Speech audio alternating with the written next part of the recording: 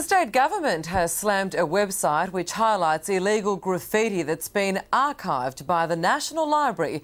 The site features graphic video of trains being vandalised and train blueprints for would-be artists to work on. Mark O'Brien joins us now from a popular graffiti site and Mark, one side's sense is another's censorship.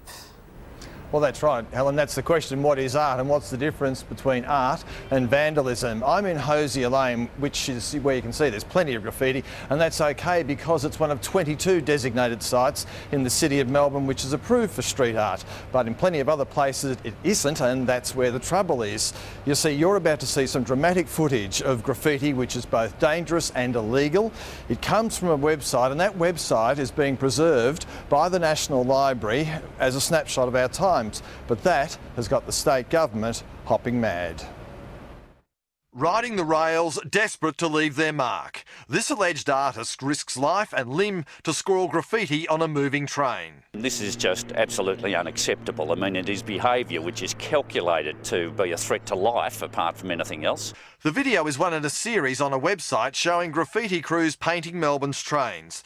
There's also photo galleries of their handiwork, and if you want to get busy with a spray can, it's good to know your trains, so here's a diagram to get you started. It is absolutely ludicrous that in an age when we have Metro spending $11 million trying to get rid of graffiti, this website carries on its face a program whereby people are encouraged. The website has been archived by the National Library as a record of the nation's social history, where it's been kept for many years. The library says its role is to collect and document history, not to censor it. Well, they can come round and clean off the graffiti. The state government is spending more than $13 million to clean graffiti from buildings, while the Melbourne City Council spends $1 million. But there's more to the pictures here than meets the eye. Hosier Lane is a designated zone where artists with spray cans have made their mark for years. In Hosier Lane, seeing five to 10,000 people a day coming here. International tourists come here especially to, to look at it. I think it's great. It's amazing art.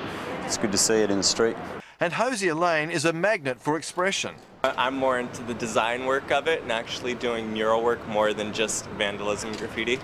That's tagging on so, Yes, yeah. The website, as a snapshot, has support.